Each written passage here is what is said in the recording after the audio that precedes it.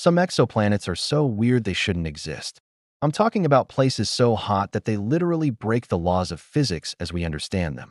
There are planets out there that have molten lava worlds, oceans of gas giants orbiting dead stars.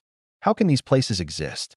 Well, some astronomers think that maybe we're just missing something huge in our understanding of planet formation.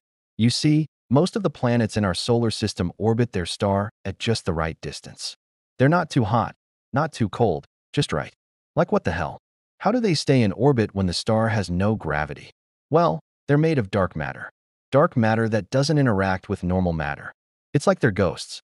But there are a few planets that orbit very close to their stars, like WASP 33b. It's a gas giant that orbits a star that's twice the size of our Sun. And it's so close to its star that gravity actually pulls it into a massive ball. There are even planets that orbit dead stars.